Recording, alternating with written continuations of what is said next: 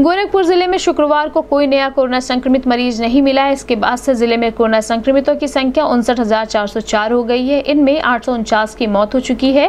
अंठावन लोग स्वस्थ हो चुके हैं, जबकि एक्टिव केस तेरह हो गए हैं।